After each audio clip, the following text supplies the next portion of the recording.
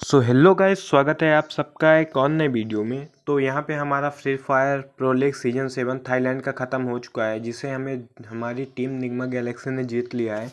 इस टूर्नामेंट में Nigma Galaxy का वन साइडेड डोमिनेशन देखने को मिला। बाकी इसके पॉइंट्स टेबल आपको स्क्रीन पर देख रहे होंगे। एम की लिस्ट मोस्ट किल्स बाकी सब इन्फॉर्मेशन आपको स्क्रीन पर देखने को मिल रही होगी। तो यहाँ पे सबसे मेन बात करते हैं हम इवोस फोनिक्स के बारे में, जो कि इससे पहले वाले वर्ल्ड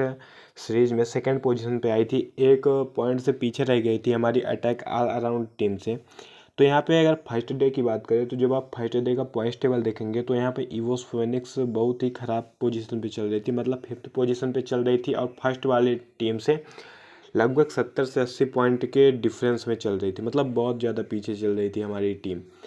तो अब जब बात आई सेकेंड डे पे तो यहाँ पे हमारे सेकेंड डे में इवोस फोनिक्स ने कंटिन्यू दो बुइया किए जिससे वो पॉइंट्स टेबल में ऊपर आए। बट उन्होंने जो बुइया किए थे, वो बहुत पैसिव गेम प्ले खेल कर किए थे। मतलब किल्स पॉइंट बहुत ज़्यादा नहीं थे।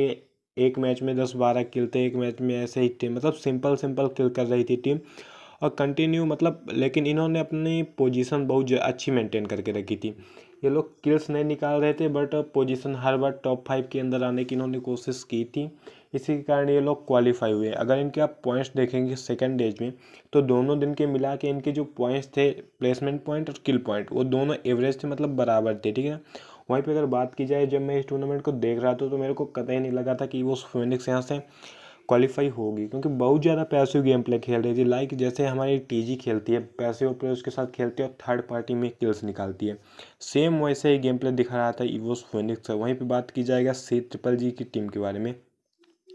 तो ये लोग बहुत ज़्यादा एग्रेसिव गेम प्ले कर रहे थे। मतलब बहुत किल निकालने की कोशिश कर रहे थे। इनके अगर आप किल पॉइंट्स देखेंगे तो लगभग आप देखेंगे कि इनके प्लेसमेंट के दुगने किल पॉइंट है। इसी कारण ये टीम क्वालिफाई नहीं हुई, लेकिन मतलब इस टीम ने बहुत अच्छा गेम प्ले दिखाया।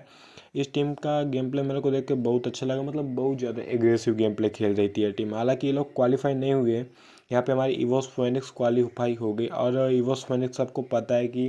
प्रबल दावेदार रहेगी इस टूर्नामेंट को जीतने के लिए। अगले बार इन्होंने बहुत अच्छा प्रदर्शन किया था और सेकेंड पोजिशन पर आए थे। आपको पता होगा तो यहाँ पे हम इवोस फोनिक्स के कुछ क्लिप्स देखेंगे फाइट के तो आप वीडियो को अंत तक एंजॉय कीजिएगा बाकी आप किस टीम से उम्मीद कर रहे थे कि ये टीम क्वालिफाई होगी हमारी Free Fire Pro League season seven से कमेंट करके ज़रूर बताना ค่อยๆเล็งครับตัวออเรดี้แล้วออกได้ดาเมจด้วยนะ ใส่ตัวเมจิกตรงนั้นไปแล้ววงที่กำลังจะบีบเนี่ย น่าจะได้ชนกันแน่ๆครับคืออีโวกับ ตัวของเมจิกต้องเคลียร์ตรงนี้อะขยันรอไว้ก่อนก้อนคูดแจกดาเมจไปก่อนหนึ่งทีโดนระเบิดตามส่วนมาตรงนี้เหลือแค่ 140 แล้วเขามีถึง 2 3 คนก้อนคูดสะบัดก่อนที่ไอวอนจะปิดลงไปนะสะบัดตรงนี้ได้สวยจริง ดึงต่อเข้ามาออเรดี้ตามมาซับตัวฟิกเซอร์ไปเมจิกล้มลงไปถึง 2 อีวอนฟินิกมันจะได้เปรียบกว่า เล่นเหลี่ยมตรงนี้คาเว่นสวนมาโมชิได้มาหนึ่งแล้วเหลือคนเดียวคนสุดท้ายแล้วจะไปรอดอะไรอะทางฝั่งเมจิกคาเว่นพยายามฝืนแต่โมชิก็เก็บโดนเป็นคนสุดท้ายไปอะจังหวะแค่ตรงนั้นเลยครับกอดคูดกับการยิงตัวของชาบัตเตอร์ไปก่อนที่ไอวอลจะเฮ้ยปิดลงและจากเฮ้ยของเราเหลือคนเดียวบอยสั่งตัวนี้